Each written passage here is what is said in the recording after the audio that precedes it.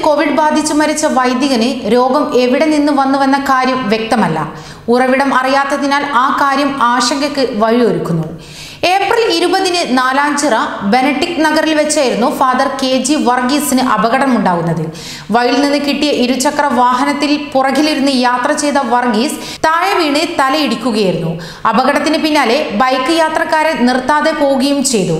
കഴിഞ്ഞ മാസം ഇരുപത് വരെ മെഡിക്കൽ കോളേജിലും പത്ത് ദിവസം പേരൂർക്കട സർക്കാർ ആശുപത്രിയിലും ചികിത്സയിൽ കിടന്നു. ശ്വാസതടസ്സത്തെ തുടർന്ന് മുപ്പത്തി ഒന്നിനാണ് മെഡിക്കൽ കോളേജിലേക്ക് മാറ്റിയത്.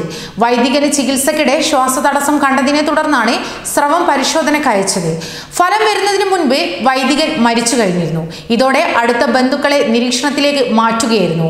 അതേസമയം അപകടം നടന്നതിനെ കുറിച്ച് പരാതി ലഭിച്ചിട്ടില്ലെന്ന് മണ്ണന്തല പോലീസ് വ്യക്തമാക്കി. സംഭവത്തെക്കുറിച്ച് അറിയുന്നത് ഇപ്പോഴാണെന്നും അവർ പറയുന്നു. മരണത്തെക്കുറിച്ച് അടുത്ത ബന്ധു പോലീസ് സ്റ്റേഷനിലെത്തി അറിയിക്കുകയായിരുന്നു. തുടർന്ന് മണ്ണന്തല സ്റ്റേഷൻ അണുവിക്തമാക്കുകയും ചെയ്തു. പേരൂർക്കട ആശുപത്രിയിൽ കിടന്നപ്പോൾ ബന്ധുക്കളും സുഹൃത്തുക്കളുമായ നിരവധി പേർ വൈദികനെ കാണാൻ എത്തുകയും ചെയ്തു. എന്നാൽ രോഗം എവിടെ നിന്ന് വന്നുവെന്ന് വ്യക്തമല്ല. രോഗിയുടെ സമ്പർക്ക പട്ടിക തയ്യാറാക്കുകയാണ് പ്രധാന വെല്ലുവിളി. പേരൂർക്കട ആശുപത്രിയിലും മുൻകരുതൽ എടുക്കേണ്ടി വരും. നേരത്തെ സമാനമായ സംഭവമാണ് തലസ്ഥാനത്ത് പോത്തൻകോടും ഉണ്ടായത്.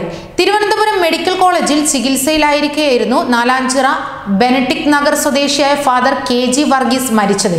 മരണശേഷമാണ് കോവിഡ് സ്ഥിരീകരിച്ചത്. അപകടത്തിൽ പരിക്കേറ്റാണ് എത്തിയെങ്കിലും ഇദ്ദേഹത്തിന് പനി ഉണ്ടായിരുന്നില്ല ഇത് പിന്നീട് മൂർച്ഛിച്ച് ന്യൂമോണിയായി മാറുകയായിരുന്നു. ഇതേ തുടർന്ന് സ്രവ പരിശോധന നടത്തി. നാലാഞ്ചിറ ഭാഗത്ത് കോവിഡ് ബാധിച്ച മറ്റു ആളുകൾ ഉണ്ടായിരുന്നില്ല. അതിനാൽ തന്നെ ഇദ്ദേഹത്തിന് എവിടെ നിന്നാണ് കോവിഡ് ബാധിച്ചതെന്നും വ്യക്തമായിട്ടില്ല. വൈദികനുമായി ബന്ധപ്പെട്ട എല്ലാവരും ക്വാറന്റൈനിലാക്കാനുള്ള ശ്രമത്തിലാണ് പോലീസും ആരോഗ്യവകുപ്പ് അധികൃതരും. അതേസമയം സംസ്ഥാനത്ത് കോവിഡ് നിരീക്ഷണത്തിലായിരുന്ന യുവതി മരിച്ചിരിക്കുന്നു. മലപ്പുറം എടപ്പാൾ സ്വദേശിയായ ഷബ്നാസാണ് മരിച്ചത്. മെയ് ഇരുപത്തിയൊന്നിനാണ് ഇവർ ദുബായിൽ നിന്ന് നാട്ടിലെത്തിയത്. ഇവർ അർബുദ രോഗി കൂടിയായിരുന്നു. ഇതിനുള്ള ചികിത്സയ്ക്കായി കോഴിക്കോട് സ്വകാര്യ ആശുപത്രിയിൽ പ്രവേശിപ്പിച്ചിരിക്കെയാണ് കോവിഡ് ലക്ഷണങ്ങൾ പ്രകടിപ്പിക്കുകയും മരിക്കുകയും ചെയ്തത്. ഇവരുടെ സ്രവം പരിശോധനയ്ക്ക് അയച്ചിരിക്കുകയാണ്. ഇന്ന് പരിശോധനാ ഫലം ലഭിക്കുകയും ചെയ്യും. മെയ് ഇരുപതിന് വിദേശത്ത് നിന്നെത്തിയ ഇവർ ആദ്യം തൃശൂർ മെഡിക്കൽ കോളേജിൽ ചികിത്സ തേടുകയും പിന്നീട് വിദഗ്ധ ചികിത്സക്കായി കോഴിക്കോട് സ്വകാര്യ ആശുപത്രിയിലേക്ക് മാറ്റുകയായിരുന്നു. ഇന്നലെ തിരുവനന്തപുരത്ത് മരിച്ച വൈദികന്റെയും കോവിഡ് സ്ഥിരീകരിച്ചത് മരണശേഷമായിരുന്നു.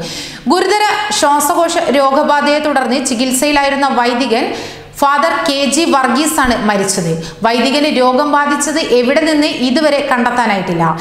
കോവിഡ് ഫലം വരും മുൻപ് മരിച്ചതിനാൽ സമ്പർക്ക പട്ടിക തയ്യാറാക്കുക എന്നത് പ്രധാന വെല്ലുവിളിയാണ്. ഇദ്ദേഹം നിരീക്ഷണത്തിൽ കഴിഞ്ഞിരുന്നയാളാണോ എന്ന കാര്യവും സ്ഥിരീകരിച്ചിട്ടില്ല. ഇതോടെ സംസ്ഥാനത്ത് കോവിഡ് മരണം പതിനൊന്നായിരിക്കുന്നു. ന്യൂസ് ഡെസ്ക് മലയാളി വാർത്ത.